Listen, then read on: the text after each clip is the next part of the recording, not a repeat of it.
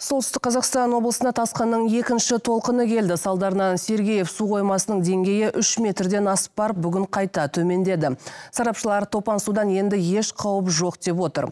Ернеуінен асып тасыған Сергеев су қоймасы қазір сәл саябырсы да екінші толқынды күткен мамандар су деңгейі 62 сантиметрге төмендетті деп отыр.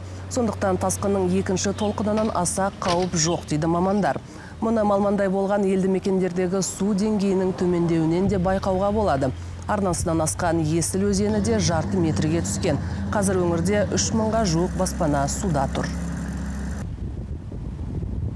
Гребнем плотины Сергеев. Қазіргі Сергеев су қоймасындағы су деңгейі 3 метр 60 сантиметр. Әлде қайда арнасынан асып тасыған су мөлшері төмендетті десе болады. Сондықтан қауіп сейілгендей, оның үстіне ағын су өзен сағасына қарай ойысып, жан жаққа жайылып келеді.